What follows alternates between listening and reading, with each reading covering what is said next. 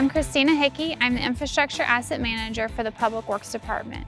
We're out here today on Choctaw Drive, which is one of the streets in the upcoming projects for the Real Texas Roads program.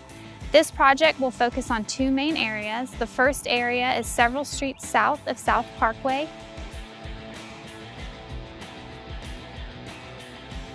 And the second area is several streets east of Peachtree. This project will focus on full depth concrete repair. Most of the time the failures happen underneath the pavement which causes the pavement to fail. We'll go down the street and we'll mark off areas where the subgrade or the soil below the pavement has failed causing failure to the street above it. We'll mark those areas to be removed.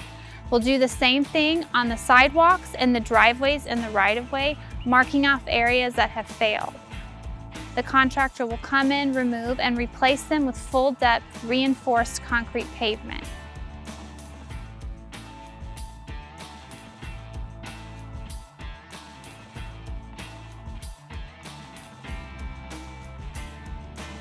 The focus of this project is to keep the areas that are still in good shape and to replace the areas that have failed. So the final product is going to be a mixture of new pavement and old pavement creating one smooth driving surface for years to come.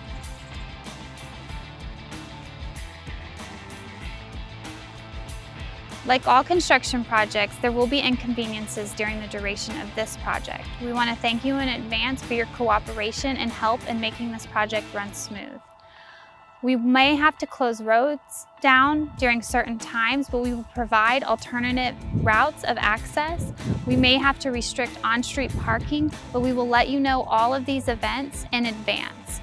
We have an inspector dedicated to this project. His name is Kenneth Toll, and he will be available to help answer any questions or to take care of any issues that arise. Throughout the project, we'll use a variety of methods to communicate with you.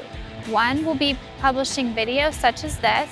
Another will be a website dedicated to this project that you can check for status updates. We'll also hand out notices as things might change during the project. And you can always use the My Mesquite app to report any questions, comments, or concerns you might have, and a staff member will be back in contact with you.